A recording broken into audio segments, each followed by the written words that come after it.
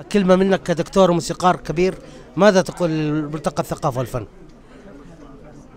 أتمنى لهم كل التقدير والاعتزاز بما لاقيته هذه الليلة من تكريم يعني أعتز فيه بصراحة يعني وألتقي مع شباب طيب يعني سميعة وعلى راسهم أنت يا حبيبنا حبيب أنت الله يسعدك أنت ما شاء الله من القامات والهامات. فبالتالي- يعني محمد عبد الوهاب بالخليج يعني انت ما شاء الله يعني ألحانك في العالم العربي كامل.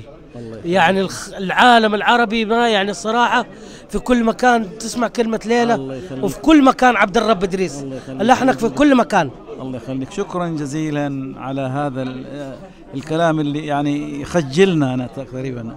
أنا ما اعمل الا الواجب اللي علي واللي اعطانا إياه من موهبة ولا حاجة. فاقدمها لكل الحبايب يعني ما ما أخبي شيء عندي أنا يعني هذا هذا يعني دوري أنا في إن أقدم عمل متناسب وعمل له قيمة فنية وهذا ما دائما أتمنى.